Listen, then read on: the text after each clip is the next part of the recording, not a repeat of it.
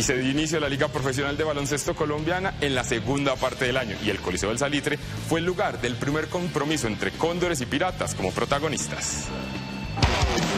El derby de la Liga Colombiana de Baloncesto entre Bogotá y Cundinamarca fue el compromiso que le dio apertura al segundo semestre. Piratas y Cóndores se dieron las caras en el Coliseo del Salitre de la capital colombiana.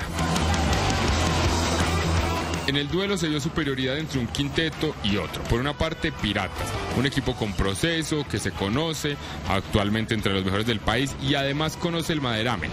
En nuestro primer partido creo que estuvo muy bueno, la química del equipo estuvo muy buena, mucha rotación, logramos armar un buen equipo esta temporada y creo que se notó el día de hoy.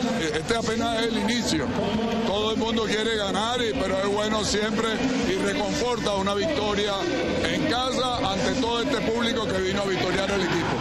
Enfrente estaba Cóndores, un club que hace su debut este año, un equipo relativamente nuevo y que inicia el proceso.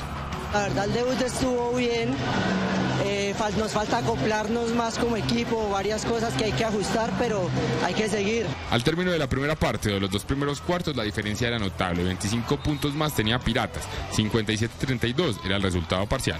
Digamos que en el medio tiempo algo clave es mantener la confianza y mantener la humildad. Entonces siempre arrancamos los terceros cuartos lo más duro posible, 0-0. Al final fue 103 a 73 a favor del equipo del Parche.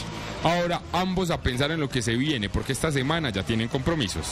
Necesitamos mirar ahora a Corsario y ver qué viene eh, para el martes que va a ser nuestro rival.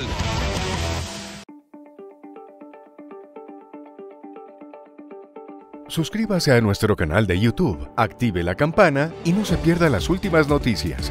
Somos Canal City TV.